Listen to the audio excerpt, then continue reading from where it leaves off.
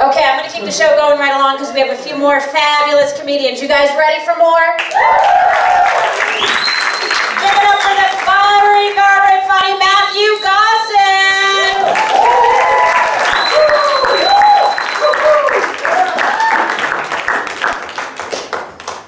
All right, everybody, settle down. Get class started in a minute. Welcome to Oceanography 101. Don't I look like that professor that you got stoned with? Or some guy in the back going, uh, shouldn't you be writing the last Game of Thrones book? We. No, I'm, uh, I'm married to a woman from Spain. We've been married almost 24 years. Coming that applause should actually be for her. One that has to see me naked. So.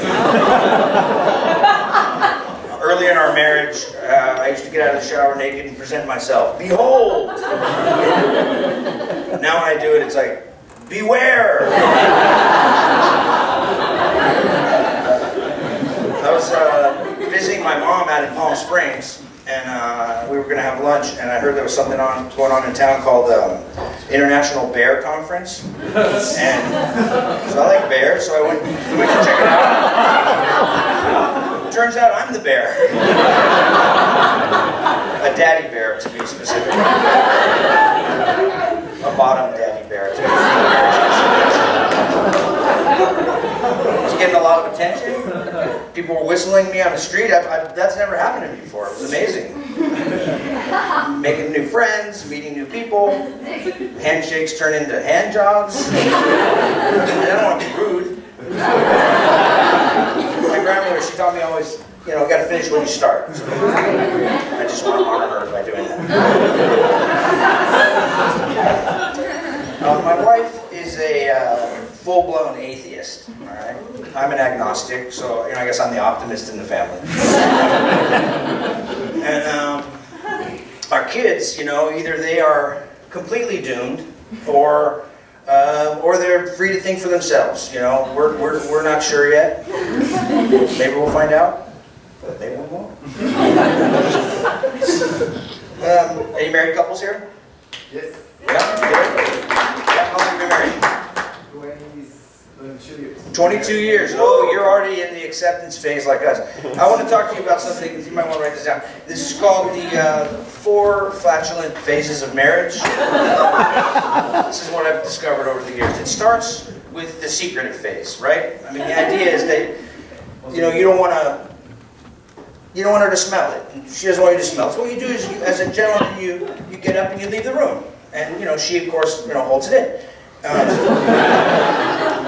but soon you move on to uh, what I call the discovery phase. My wife's from Spain, so you know I learned about some European varieties. I learned about the Andalusian air biscuit, Barcelona cheek squeaker. There was the um, Lisbon floater, Pamplona power puff.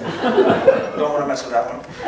She got to learn my sort of California varieties, and from here, uh, I was able to offer up things like the um, Frisco Fecal Fire, Glendale Grundle Rumble, Van Nuys Surprise, or the NoHo Uh-Oh, which often requires cleanup. So after, you know, it's uh, mystery's over. Now it's time to move into the anger phase, right? The anger phase. You know what I'm talking about. It's war. You, this is when you fart on each other on purpose. She'll be on her way out to work, and I'm eating breakfast, and she just gives me like a crop duster.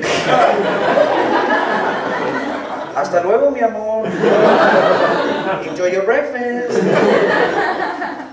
Anyway, you know, after after you know that acceptance phase kicks in because you can't really do this much longer, and when you're in the acceptance phase, you don't even acknowledge them anymore. Why bother? It just happens. And at this point in our marriage, um, we finish each other's farts. that's love. Thank you very much.